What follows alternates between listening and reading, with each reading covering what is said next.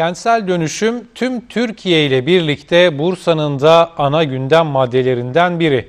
Yıldırım Belediyesi dönüşüm projelerini Türkiye'de tek olma özelliğine sahip bir merkezden yönetiyor.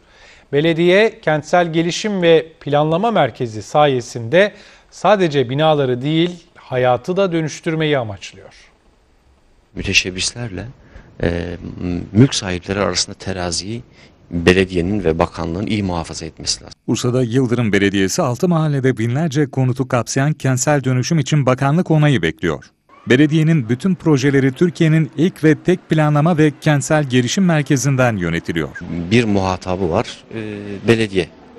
E, bir muhatabı mülk sahipleri. Aktörlerden bir tanesi yükleniciler. E, işin bir aktörü de bakanlığımız.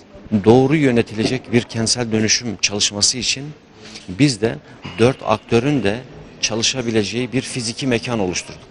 İşin mutfağında harita ve inşaat mühendisleri, şehir plancıları ve mimarların yanı sıra sanat tarihçileri, sosyolog ve psikologlardan oluşan bir ekip yer alıyor. Vatandaş katılımının az olduğu projelerde başarı oranı daha düşük. ARGE birimimiz e, vatandaşlarımızla belediyemiz arasında, e, vatandaşlarımızla e, müteşebbisler arasındaki diyaloğu sağlayan bir birimimiz. Türkiye'de örneği bulunmayan merkezde vatandaşlara dönüşümün fiziki şartlarından sosyoekonomik getirilerine kadar sunum yapılıyor. Vatandaşlarımıza buraya geldiklerinde e, anlattığımız dönüşüm çalışmaları sadece bir fiziki dönüşüm değil, kişi başına düşen yeşil alan miktarının ne kadar arttığını, okul ihtiyaçlarını nasıl tasarladığımızı, sağlık alanlarını nasıl tasarladığımızı, e, yaşam standartlarının nasıl artacağını da vatandaşlarımız görmüş oluyorlar. Kentsel Gelişim ve Planlama Merkezi'nin bir başka özelliği de dönüşüm isteyen vatandaşlara ya da projem var diyen müteahhitlere kapısının açık olması.